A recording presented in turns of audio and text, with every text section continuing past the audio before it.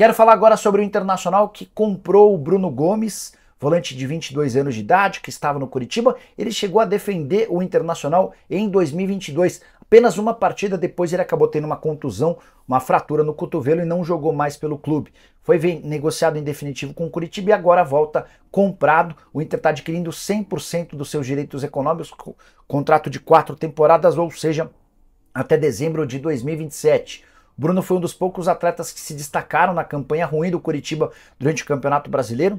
Jogador de 22 anos, esteve em campo ao longo da temporada com 45 jogos, 3 gols e 2 assistências. Chegada do Bruno Gomes pode acabar interferindo até na situação do Thiago Maia, velho sonho dos dirigentes do Inter, e deve causar também a saída do Gabriel, volante que tem perdido espaço desde a chegada de Eduardo Cudê.